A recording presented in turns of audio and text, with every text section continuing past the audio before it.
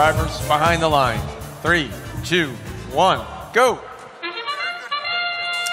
And with that, we are in the, the autonomous period of ma- qualification match 59, in which points scored in the autonomous period are, are worth more than when they are scored in the teleop period.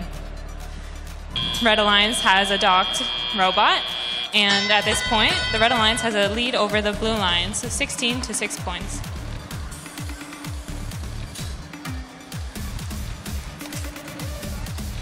As this match begins, we, as the tele, teleop is continuing, we got Red Alliance looking to score some cones up in, in the grid to get those uh, grid points. When they are scored in the top row of the grid, they get five points. And it looks like 30 26, Orange Crush Robotics drops one for the Red Alliance. Bogbots it looks tried to score a coin a cone up in the mid or high row, but it dropped down to potentially the bottom. Orange Crush is looking to score one on that top row, and we'll see if it stays. Polar Rams picks up a cone and is going to try scoring it for the Red Alliance. Red Alliance still has a lead of 33 to 6, but neither of the teams has gotten any links yet.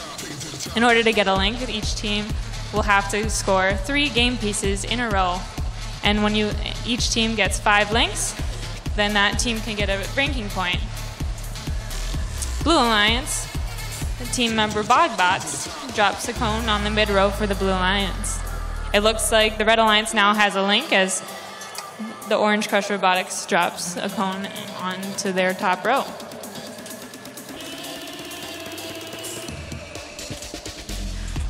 Orange Crush Robotics is trying to drop another cone onto that top row. And they place it into that co-op region of the grid. If both teams place three game pieces into that co-op region, then that threshold of five links for sustainability gets dropped to four links. We heard that buzzer, and so now that means we are in the last 30 seconds of the match. In the last 30 seconds, the robots will try to get onto that charge station, and each, if they can get onto the start charge station and it is balanced, then each robot is worth 10 points.